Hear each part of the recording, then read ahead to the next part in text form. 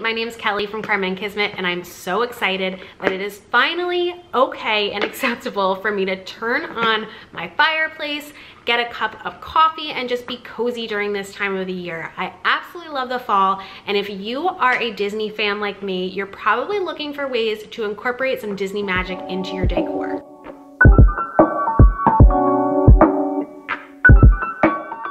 This is your first time checking out Karma and Kismet, make sure that you hit that subscribe button below because there is a ton of magic on my channel. I'm always showing different ways that you can incorporate some Disney into your everyday life, be it through DIY projects, art, your home decor, fashion, whatever it may be, this is all here. So when it comes to seasonal decor, I am very specific about not spending too much money because I'm trying to save for a house and for a wedding, so every dollar counts.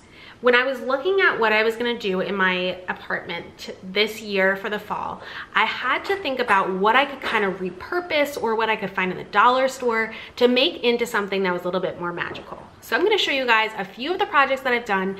All of these projects are going to be linked below. They are actually um, in my blog. So if you go to my website, you can check out how to do all, the, all these, all the different steps for that. This first DIY is probably one of my favorites, I have to say. It's this DIY Mickey Ghost pillow. So if you have gone to Disney World, Disneyland, or been to the Disney store really in the past probably two years, you've probably seen a pillow very similar to this. So it's this kind of felt material shaped in a little Mickey ghost shape and then has this blanket stitch here. So I decided that I didn't want to spend $30 for this pillow, but I really wanted it. So I created this one on my own. It was probably about $25 to do, and I have all the steps actually in my blog post, which I, again, will link below. Um, if you don't know how to do a blanket stitch, I will also go through that. I'm gonna link a video for you guys in case you need directions on how to do that because this is a really useful stitch to learn, um, but it is a little bit different than probably what you're used to there we go. Um, but this is so cute to just place on your couch or even if you have um, some area that like your pet stays in, anything like that is really cute. It adds a little bit of magic. So this next DIY is gonna be a lot less intense than the Mickey Ghost. Mickey Ghost is adorable. I love that pillow, but it definitely is going to be something that uh, is gonna be a little bit more time consuming than the other DIYs that I'm gonna show you guys. So this second one is a Mickey candle holder, um, little pumpkin, and this is all again linked right on my blog so i'll link that below. Um, but basically what it is is this candle holder that i got from the dollar store for of course a dollar.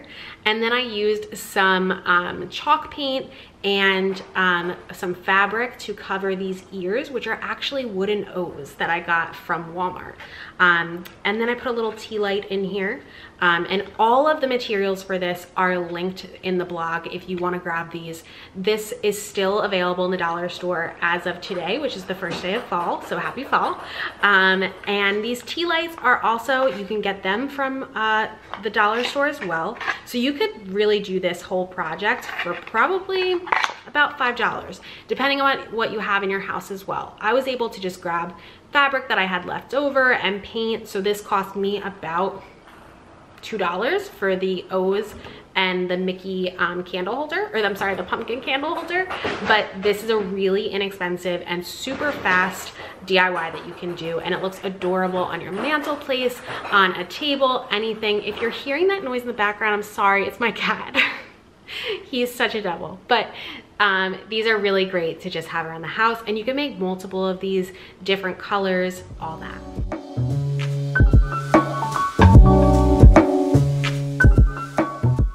This next DIY project is going to be really for people that have a scan and cut or Cricut or Silhouette, something that you can cut out vinyl on. So this is a piece of wall decor that I love to put up in the fall time because I love this little Minnie. Um, this is actually a design that I created and I have a t-shirt for it on my shop, so I'll make sure to link that below. But I did this specifically just for myself. Sorry, my little one is trying to get involved in this.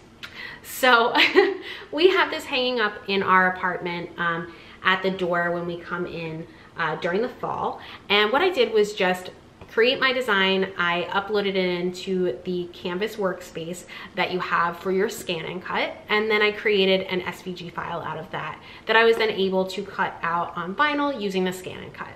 So once I had that cut out, basically what I did was just use a um, the heat press that I have, the Cricut heat press, and was able to heat the vinyl onto the wood. So this is a really great project to do. Um, don't include kids in this process because of the heat, I would just say, but they can definitely be a part of designing this and getting it all set up.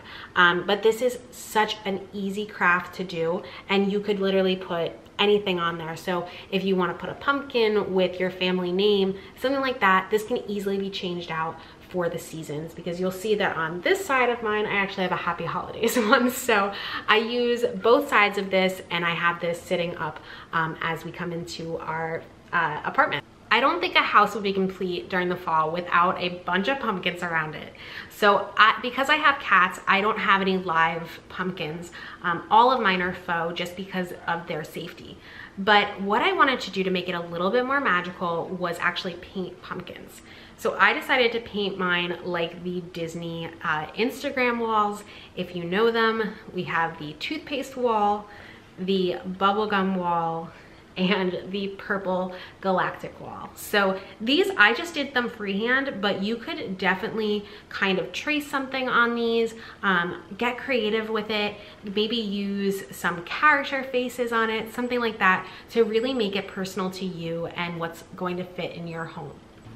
So if painting a pumpkin is a little bit extreme for you, there are definitely other ways that you can DIY some pumpkins to bring that Disney magic into it. So these are decoupaged um, maps from Magic Kingdom that I actually just decoupaged right onto this pumpkin that I got. This was a pumpkin that I got, I think for a dollar in the Dollar Tree. Um, and it may be like blue underneath. so it wasn't gonna match with everything like an electric blue. Wasn't gonna match with everything that I had. So we just decoupaged it and it looks really cute. I have this in my office because it's all Disney themed and it just makes me think of Disney every time I look at it. So our final Disney DIY fall decor may be my favorite. I don't know. It may be the ghost actually. It's probably the Mickey ghost. But this is really close to that. A Boo Mickey Ghost welcome mat.